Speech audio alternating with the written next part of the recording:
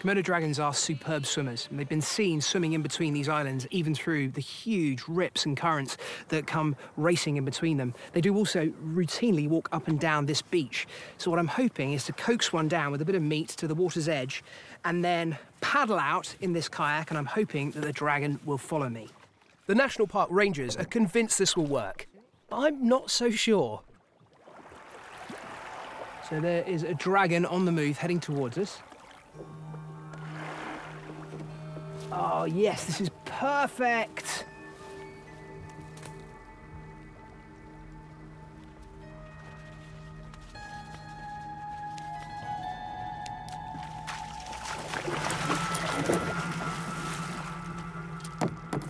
Thinking about it, the tongue is lashing out onto the water. He knows the food's close.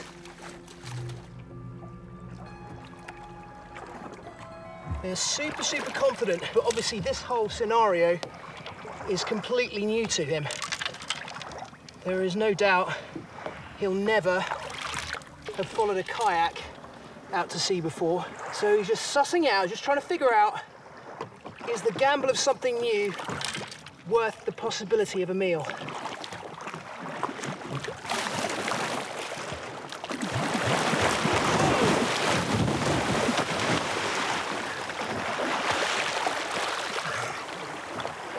Okay. well, I had a feeling it wasn't, wasn't going to work perfectly, but that was a disaster. okay. Well, he clearly totally got the better of me. I'm going to call it a day and give it another shot tomorrow.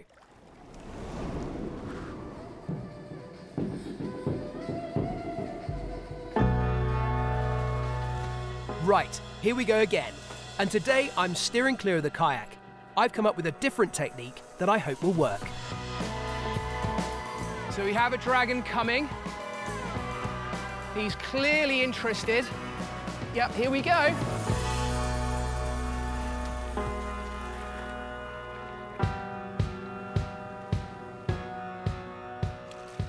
Look at that, the tongue flickering down onto the water. Just trying to pick up that scent, see where the food's coming from. What I've got to make sure is that he finds the food and doesn't think that I'm the thing that's going to be his potential meal. He goes, right in front of him. Yes, okay, right now he's got a hold of it. And wow, he's strong. So this is quite a big dragon. He's about two and a half meters long. Definitely a male. The scent trails attracted another dragon and another good sized one as well. So now I'm gonna have to be doubly careful, keep my wits about me. There you go. It needs to be his own choice, but if he comes in of his own volition, we might just see him swim. Okay, here we go. Now he's swimming. Now he's swimming. He's off the bottom. And I can feel the strength that he has, whipping the body side to side, using that, that tail much like a crocodile would. They use swimming to get around, to move between islands, and not to hunt. So he doesn't want to eat this in the water. He wants to bring it back up onto the beach.